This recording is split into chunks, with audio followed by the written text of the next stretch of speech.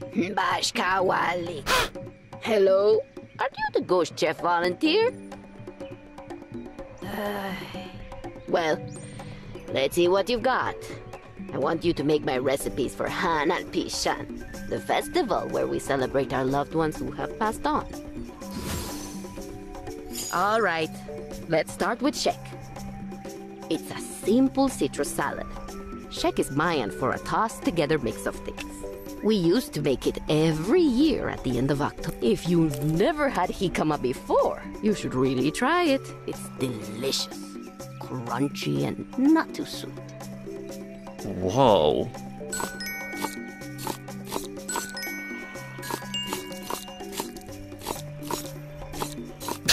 It's disappearing. Where? Uh, okay, well, I'm not getting 5 stars. okay, whatever. Scoop the diced jicama into the mixing bowl with the knife and add the orange slices. With knife. Okay, wait, so...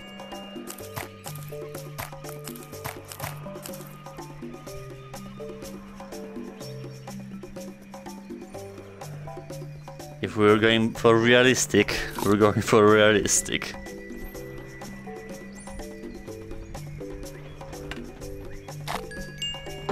What was that even?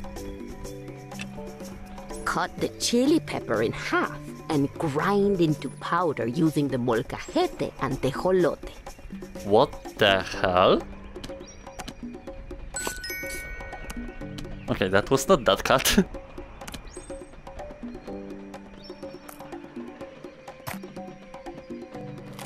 A proper molcajete will add real depth to the food. It will pick up subtle flavors over time as you use it. If you're lucky, someone older will hand one down to you. Make sure you take good care of it. hmm. Add to the mixing bowl one spoon each of chili powder and cilantro. Ew. Grab the lime and squeeze twice into the mixing bowl.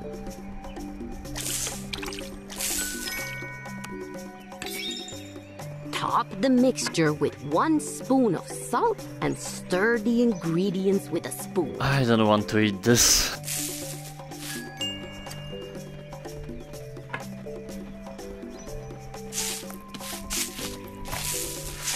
Look at it. It looks molded and stuff.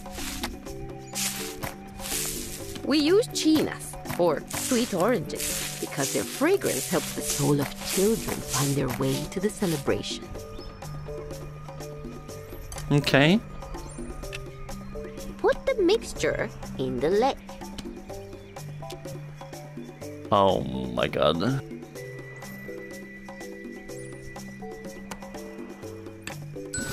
Serve the dish cold and ring the bell. Where? Oh.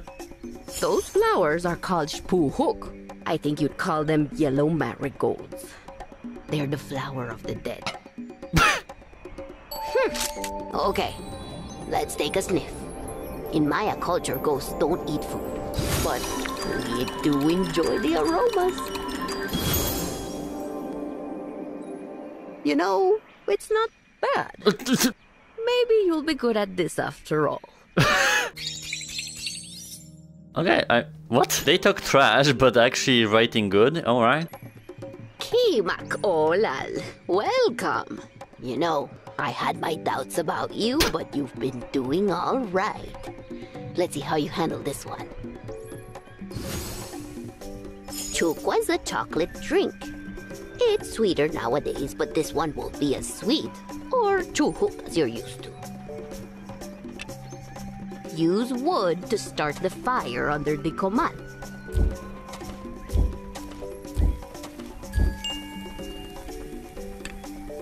Pour the cacao beans onto the comal. Roast until the shell pot cracks. Mmm. nothing like the smell of roasting cacao. Cracks. Lift the whole comal to pour the roasted beans into a bowl. Grab each bean to pop the. Okay, the comal is hot. Oh, looks like the skin is starting to pop. Those beans are done roasting. Time to remove them. Hey, you're letting things burn. No.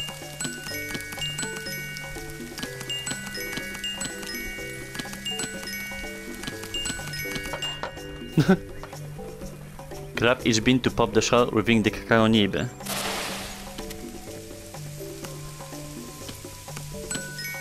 Ah, okay. Bring the bowl of nibs to the metate. We've used stones like these ones to grind cacao, spices, and corn for thousands of years. We call them ca, but these days they're better known by their Spanish name, metate. The part you hold is the cab, and you should treat it like an extension of your hand. In fact, cab means hand in Mayan. Makes it easy to remember. Wow, that's so weird. Huh? Grind the cacao nibs into a paste with the cab, then smooth into a round ball. Cow?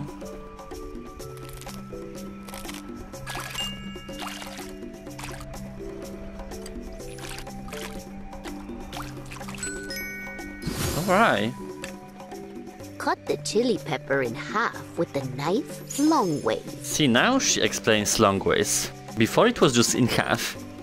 And the game automatically cut in half, but not how I wanted. Grind the chili pepper halves into powder using the molcajete and tejolote. Bring the cacao paste and the ground chili pepper to the comal.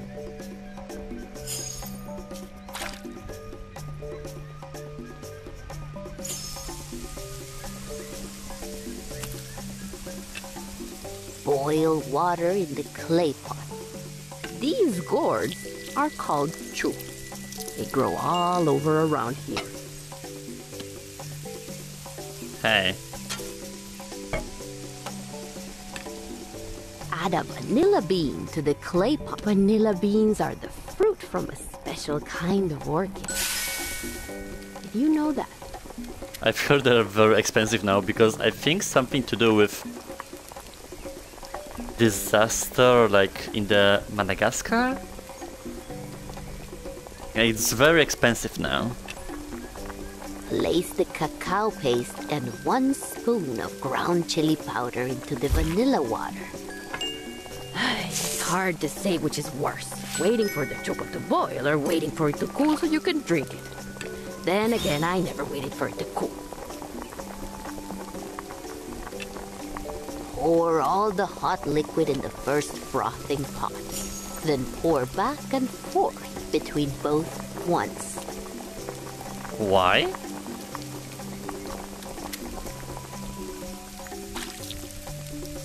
Oh my god, this is gonna be a struggle. Pour into a lick and wait for froth to rise. What? You want to build up a thick foam. Use this chocolate pot to pour the chukwa back and forth. That will build up a nice froth.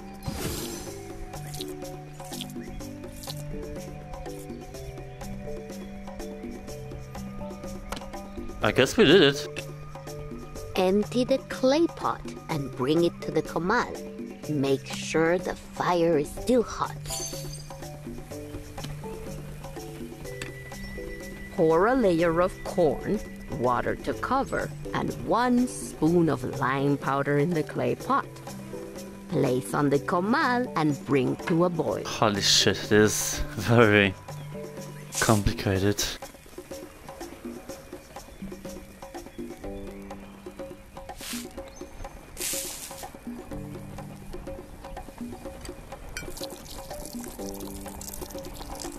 Where are my sound effects?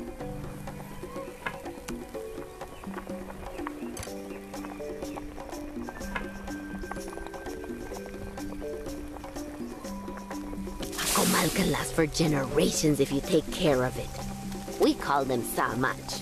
Whatever you call them, they're just no substitute for the seasoning they pick up over the years. A bit of family history right there in your tortillas. What?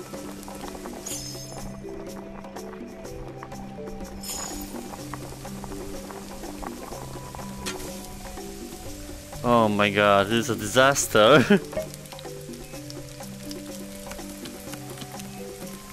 no one saw that. Use the estropajo to clean any remaining liquid off the metate.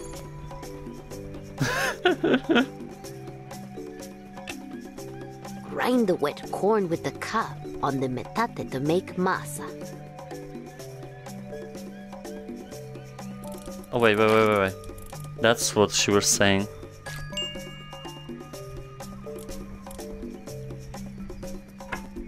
We've been grinding hooch like this for thousands of years.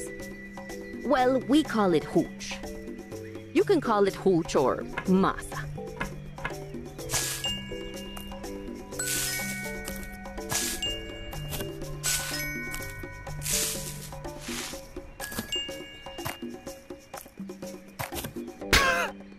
Not even. Smooth each ball and flatten with the rolling pin. Place the uncooked tortillas on the decorative plate.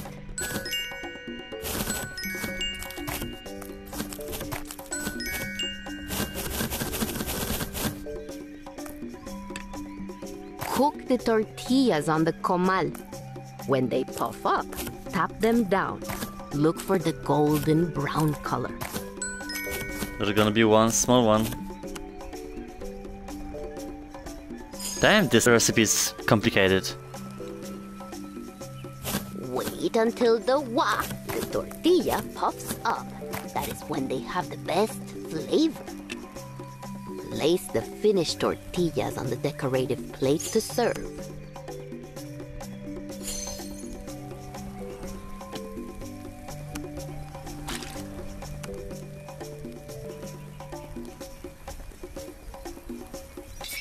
Look at those beautiful puffy tortillas.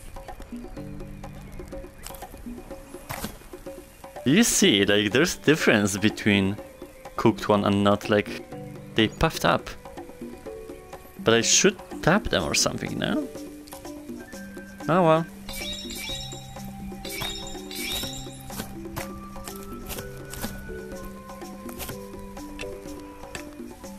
Serve the tortillas and chukwa and ring the bell.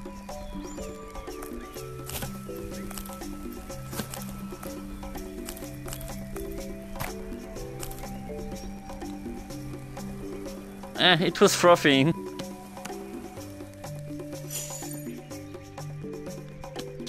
I tried my best, honestly.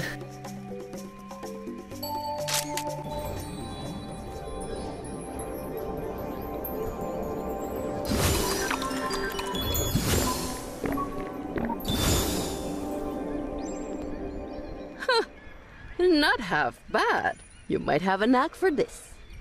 Okay, I'll take that.